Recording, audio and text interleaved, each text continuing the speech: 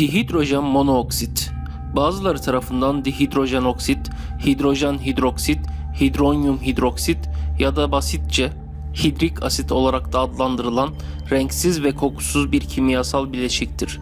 Bu bileşik DNA'yı mutasyona uğratan, proteinleri denatüre eden, hücre zarlarını bozan ve kritik sinir ileticilerini kimyasal olarak değiştiren yüksek reaktif hidroksil radikallerinde vardır. Dihidrojen monoksit, sülfürik asit, nitrogliserin ve etil alkol gibi çeşitli kostik, patlayıcı ve zehirli bileşiklerde bulunabilir.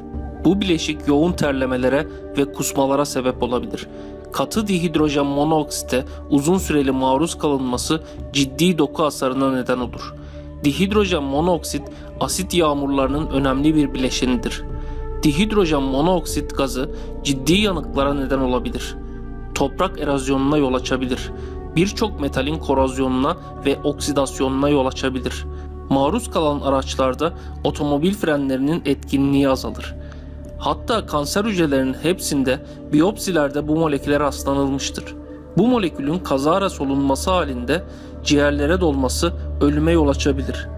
Bu molekül ilkokullarda dahi kullanılmaktadır. Tüm bu zararlarına rağmen Dünya Sağlık Örgütü, Birleşmiş Milletler bu bileşiğin kullanılmasına izin vermektedir. Okullarda küçük çocukların erişimine serbest olan bu bileşik ayrıca nükleer santrallerde, hayvan deneylerinde, biyolojik ve kimyasal silah üretiminde, geçmişte Nazi toplama kamplarında, günümüzde Uganda, Zaire, Yemen gibi birçok ülkenin hapishanelerinde, kola gibi asitli içeceklerde kullanılmaktadır. Şaşırdınız değil mi? Sizce bu kadar potansiyel zararına karşın göz yumulan bu bileşiğin adı nedir? Bu bileşiğin adı sudur. Amerika Birleşik Devletleri'nde Greater Idaho Falls Bilim Fuarı'nda açtığı standta bir lise öğrencisi bölge insanlarını hazırladığı projeyi imzalamaya davet etmiştir. Lise öğrencisi dihidrojen monoksit adlı maddenin kullanımının tümüyle yasaklanmasını mümkün olmadığı takdirde çok sıkı kontrolünü istemiştir. Bu kampanyanın sonuçları oldukça düşündürücüydü.